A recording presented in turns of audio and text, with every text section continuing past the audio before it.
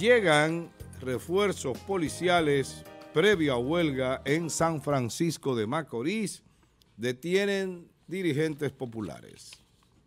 Desde, pasado, desde el pasado sábado, refuerzos pertenecientes a la Policía Nacional, agentes de unidades élite junto a miembros del Ejército Nacional, llegaron a esta ciudad previo al llamado a huelga que inicia hoy a las 6 de la mañana de este lunes. Los refuerzos arribaron a esta ciudad a raíz de la solicitud hecha por el sector comercio, que ha fijado su postura de resistirse a cerrar sus puertas pese al movimiento huelgario. El anuncio se hizo en la Cámara de Comercio de la provincia Duarte y contó con la presencia de miembros de la Asociación de Comerciantes, Choferes y otras entidades que anunciaron que estarán ofreciendo sus servicios este lunes en rechazo a los métodos utilizados por los convocantes a la huelga.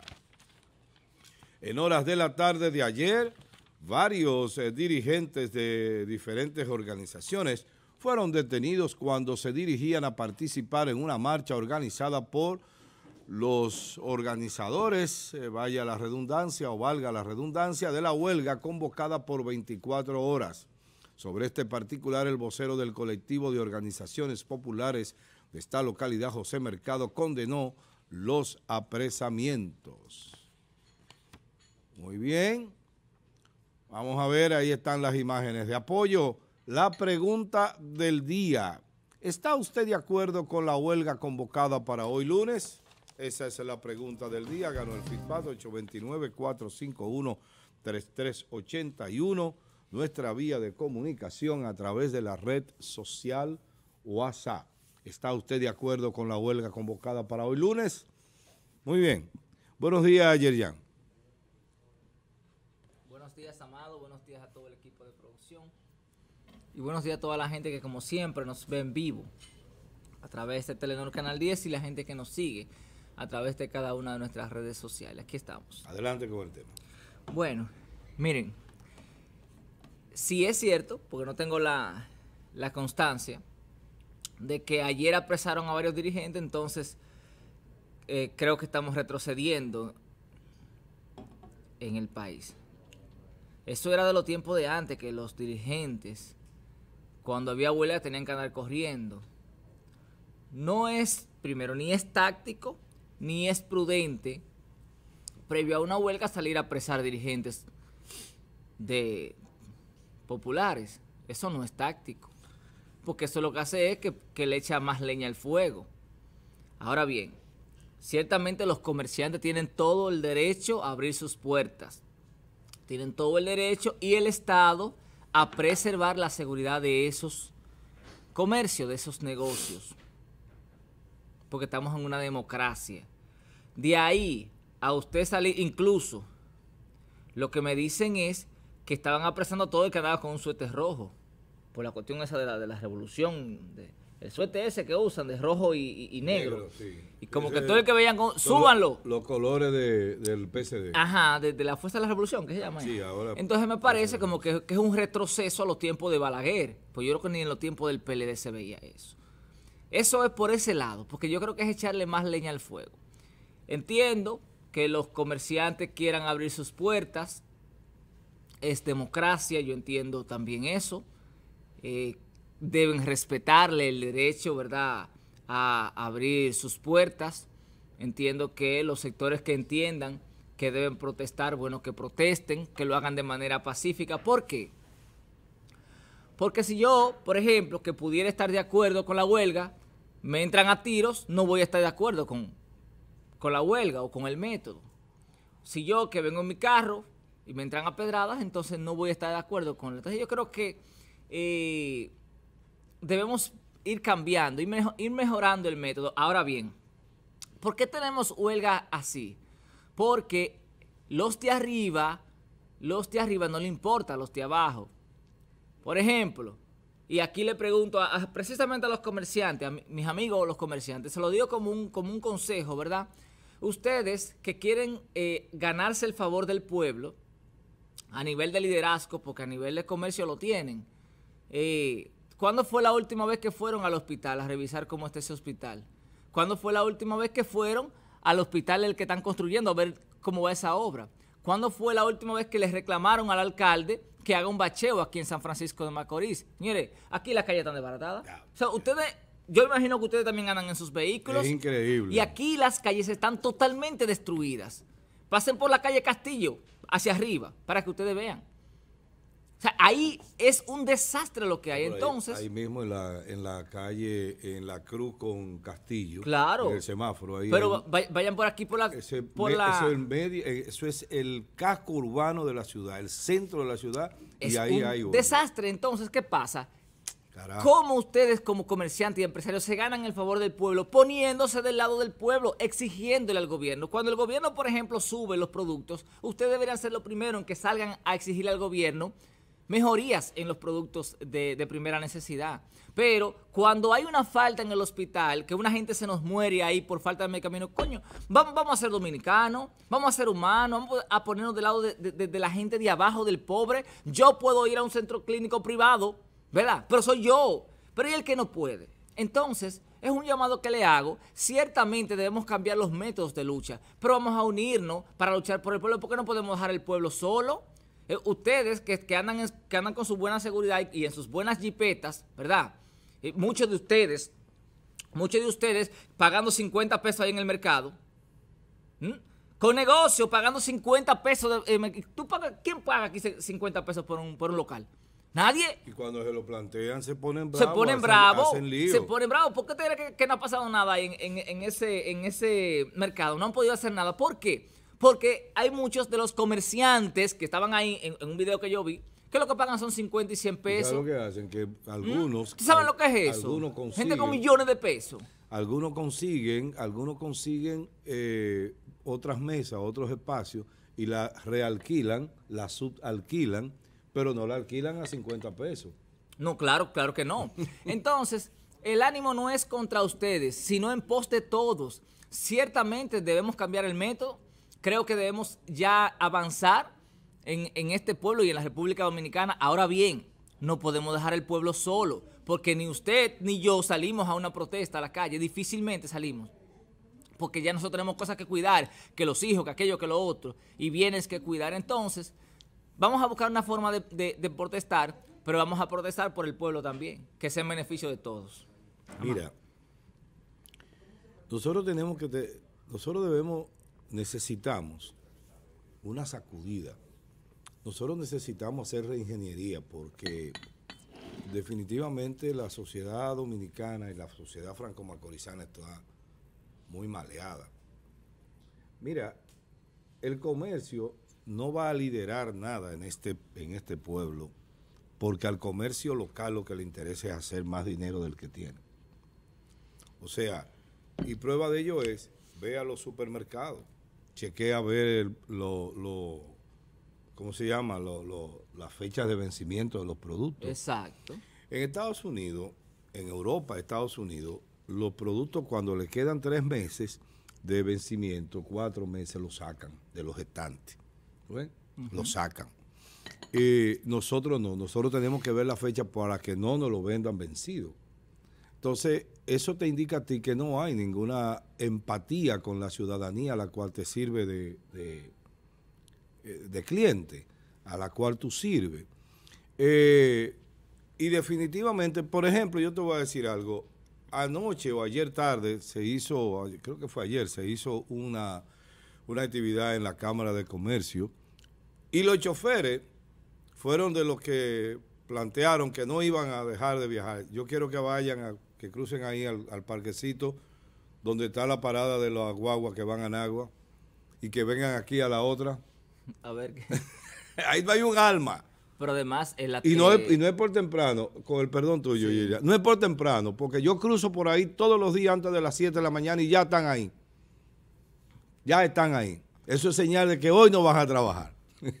Dime, ¿qué sí, fue? eh, eh, el discurso del ministro Chubasque no fue un discurso correcto. Oigan esto, comerciantes, no se presten a eso. Eh, Cuando dice, ya no, ya no vamos a permitir huelga aquí en San Francisco, pero ¿y qui- ¿quién es usted para determinar eso? O sea, ciertamente tenemos que cambiar el método, pero la huelga no podemos dejarla nunca. ¿Saben por qué? porque la huelga es un método de, de nosotros exigirle a los gobiernos que hagan lo que tienen que hacer. Si no, no se consigue nada. Ese hospital, y es verdad, es verdad, ese hospital, cuando vinieron aquí, ¿sabe con quién fue que se reunieron? Con, con Odilín y con Raúl Monegro. esa imagen yo la tengo allí, guardada.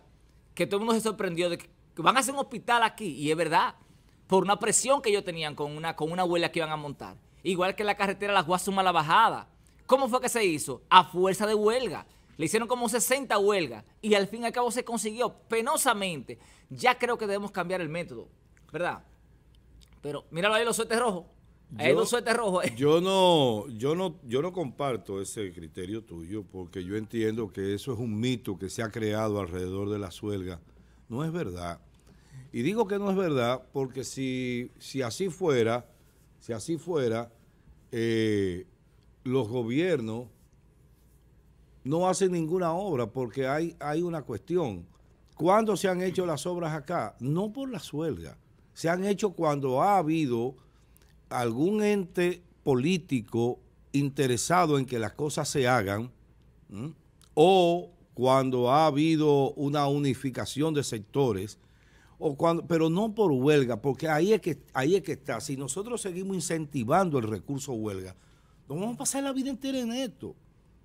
Nos vamos a pasar la vida entera. Yo no creo que sea el hospital, por ejemplo. ¿Cómo se consiguió el hospital?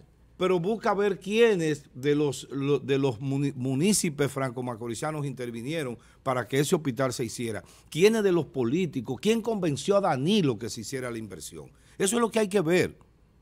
¿Quién habló? Pregúntale a tu tío. Pregúntale a tu tío, que tu tío debe saber esa información. Eh, ¿Por qué? Porque el asunto está en que si así fuera, con dos huelgas, tres huelgas, ya se hacen las obras. Si, es, si, yo estuviera convencido de eso, hasta yo salgo a la calle a hacer huelga. Pero yo no estoy convencido de eso porque no lo creo. No lo creo. La mayoría de los gobiernos ven en esos muchachos una partida de muchachos que lo que andan, eh, la juventud, eh, la inmadurez, la incapacidad, es lo que hace que ellos hagan esas cosas. La mayoría de los gobiernos lo miran como muchachos, no le tienen respeto, no le tienen... Y, prueba de ello es que aquí viene el mercado a cada rato a decir que no cumplieron. Hicimos un acuerdo y no cumplieron. ¿Qué es lo que pasa cuando no te cumplen? Que nadie te cree, que nadie te respeta, sencillamente. Entonces esa es la realidad. No podemos seguir incentivando el recurso huelga. No podemos seguir afirmando lo que no es verdad. Eso es un mito de que aquí todo lo que se ha hecho, se ha hecho porque se han hecho huelgas. Eso no es verdad. ¿Cuántas huelgas han hecho en Santiago? No, todo. pero eso es lo que dicen. Eso es lo que dicen. Pero en Santiago. Pero espérate, pero espérate. pero espérate, no, pero espérate. ¿Cuántas huelgas se han hecho en Santiago para conseguir que hagan lo que hicieron? el teleférico, el que yo qué. Óyeme, pero espérate, pero espérate. Y, espérate. el liderazgo lo tomó el empresariado. déjame, déjame terminar. y te voy a decir una cosa. Eh, cuántas huelgas ha hecho La Vega para que se haga lo que se ha hecho. Y así por el estilo. Nosotros estamos viviendo en una mentira con eso. Tenemos que, y no podemos seguir incentivando el recurso. Hay que cambiar el método, como tú dices. Y hay que cambiar la visión, que eso es lo que tú no has dicho. Pero eso sí hay que cambiar la visión y hay que meterle en la cabeza. Y les voy a decir una cosa, esos empresarios que están ahí son dinosaurios, eh, Juan María García, mi querido hermano Eufemio Vaga, esa gente tiene que retirarse. Esa gente tiene que irse del, comercio. No es que, se, no es que abandone su negocio. Del liderazgo. Del liderazgo me refiero. Y dejar que gente como Alex Soriano, tú ves, gente joven, eh, bueno, pero gente joven asuma. Santísimo. Este programa aquí, no se puede. Aquí se cosas que aquí no se puede. Hay que lograr, hay que lograr que una nueva clase que entienda lo que es el liderazgo, que no piense únicamente en cuarto y en acumular, que no se crea, sino que piense en el, el, liderazgo, que piense en que este país es un barco, que si ellos no agarran el timón, no se va a enrumbar correctamente. Pero hay que trabajar para eso, porque aquí no hay conciencia de lo que yo estoy diciendo. Hmm. Buenos días, Francis Rodríguez. Muy bien. Buenos días, amado. Yerjan, amables televidentes y el contenido. No, ha llegado. Bueno, agradecido de Dios por la luz de este día y ahí pedirle a Él inteligencia para entender las cosas, un pedido que hago cada mañana por mí y por todos. debe darnos inteligencia para entender las cosas. El devenir de la vida política nacional, ciertamente que San Francisco de Macorís representa un porcentaje muy alto de luchas populares, por múltiples razones, por múltiples. Hay que saber que aquí ya podemos decir que por cualquier quita metapaja se puede parar la ciudad, a la fecha que está. Claro. A la eso- fecha eso, que eso yo creo que se están haciendo Y- mucha y- huelga muy frecuentemente. Y lamentable que en este tiempo, después de tantas cosas que hemos pasado, después de tanto que se ha avanzado en el país, en el mundo, todavía sigamos en ese. Entonces, tuvimos la pandemia que nos paralizó a todos y perdimos mucho. Perdimos muchos seres queridos. Y, y saber que post pandemia lo que ha estado sucediendo es restablecerse una vida normal. Y en la política no es menos. El Estado tiene una obligación de cumplimiento y de proyección de realizaciones. Realizaciones que en esta fecha lamento mucho que tengan tan poca, tan poca capacidad y conocimiento de proceder. Porque para el PRM no es una mentira que le ha resultado chocante que exista la ley 340. Es lo primero. Y hasta la usan como excusa. La usan como excusa cuando no han cumplido con una realización prometida, incluyendo aquellas que estaban en curso y al ser una nueva gestión también le dan el matiz de que pudiera, pudiera ser realizada por una nueva gestora o constructora. Y no es así. Porque el que tiene una obra en curso, cuando hace cambio de gobierno, hay continuidad de Estado Claro. y debe de continuar porque hay un convenio con esa persona. Pero lo que han querido es quitarle la obra y hacer lo que lo haga un compañero. Y ahí se han encharcado. No me diga. Yo tengo datos de eso. Ay, No es mucho, pero hay datos de eso en escuelas, obras pequeñas y obras grandes. Y de ahí viene que su mal entendimiento con la ley 340 sobre compras y contrataciones hasta han pensado que hay que cambiarla. hay, que- hay que modificarla para, para adecuarla. Coño, pero qué capacidad política y, men- y- y profesional pueda tener una- un individuo que piensa que, que la 340 le, le resulta chocante Ay, cuando ha sido la mejor ley para controlar los desvaríos de directores, administradores. Señores, miren lo que le está pasando a Hugo Vera, que no tiene un año y es una buena persona. Yo lo conozco desde siempre. Eh, somos amigos. Y yo tuve que ponerle un mensajito. Hugo, suelta eso, no te ponga de frente a defender cuando hay una alarma de una institución que es la que vigila las compras y contrataciones de una institución. yo sí me alegro que le pasara a Hugo por traidor, Tú no puedes, tú no puedes, a brincando de un sitio. tú no puedes, por ser director, no te obliga a defender la decisión que haya tenido un consejo de compra. Ahí fue el, el error de él.